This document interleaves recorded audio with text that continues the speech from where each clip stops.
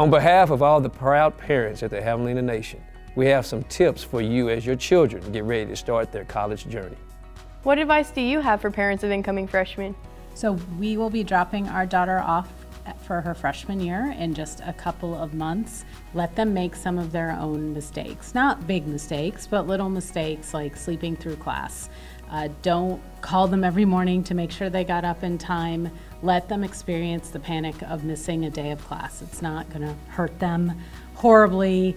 Uh, have them take responsibility for it by emailing the professor, but I'm betting then on the following day they will wake up with their alarm. Also, um, you know, be there and listen to them, listen to their concerns. They might be new worries that you're not accustomed to, but listen and give them the support and love that you've given them their whole lives. Stay safe, stay in touch, and get to know your faculty, get to know the instructors, get to know the people working with you as lab instructors, take advantage of academic support systems, and uh, find time to have fun in amongst all that. What do you wish you knew when you brought your student to college for the first time? When bringing my child to college for the first time, I wish I would have known more about the financial aid process.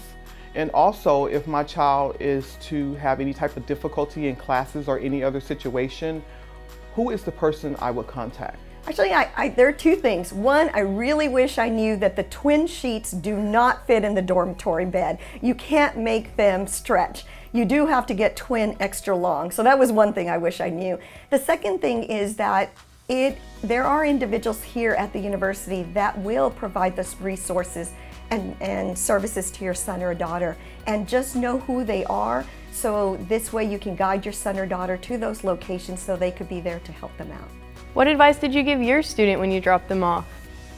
I basically gave him a big hug and I told him good luck and uh, just make all the right choices and don't forget uh, that you're not alone. Uh, we're, we may not be here with you, but we're still within uh, just a call away and uh, make sure you utilize all the resources on campus. What are the benefits of attending A&M Kingsville? I think that there's a lot of programs for kids on campus and uh, one of the things that I didn't realize is how many, you know, uh, different types of programs there are so that your kids can go and get help, whether it be, you know, in school or just uh, in general, you know, uh, when it comes to talking to somebody. And so there are a lot of programs, and that's something that, that I wish that I knew uh, when I first, you know, dropped my child off, you know, uh, on campus. I would educate myself on the institution, the historical value, uh, the accomplishments, the alumni.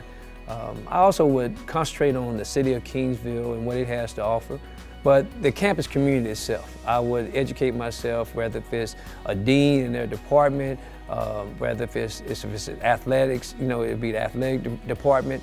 Uh, I would just familiarize myself with this institution before I came so that when I dropped my child off, I would feel comfortable and so would they.